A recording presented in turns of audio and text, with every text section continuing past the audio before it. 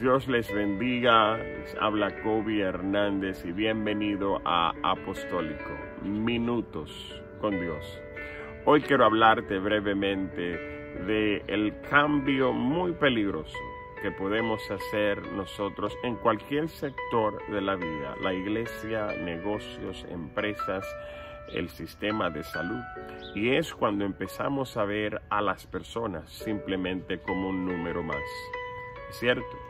Cuando tú ves la situación de un ser humano y simplemente dices, pasó otra vez más, es otro número. O tal vez una familia destruirse es una familia más.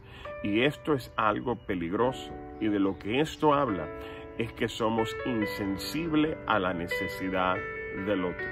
Y es importante que no dejemos llevarnos a ese nivel, a donde no nos importa la necesidad de esa persona al lado tuyo, en tu comunidad, en tu familia.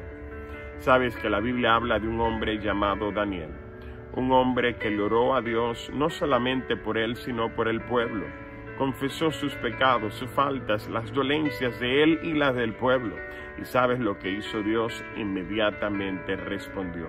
Es que cuando eres sensible a la necesidad, cuando eres sensible al dolor ajeno, cuando eres sensible a lo que pasa en tu comunidad, hay un Dios que va a responder. Así que es importante que tú y yo no nos dejemos llevar de caer en ese error tan grave, de que cuando escuches que una familia se destruyó digas, bueno, no son los primeros ni los últimos. Cuando escuche que alguien tal vez está pasando por un problema difícil, no digas, bueno, no son los últimos ni los primeros tampoco, sino que seas sensible, lo suficiente como para interceder, orar y creer que Dios puede hacer algo en la vida de ellos.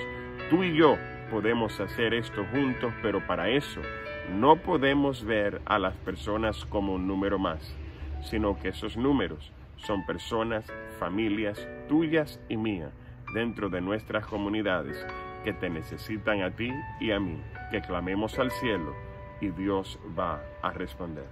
Gracias por estar conmigo. Esto es Apostólico. Minutos con Dios.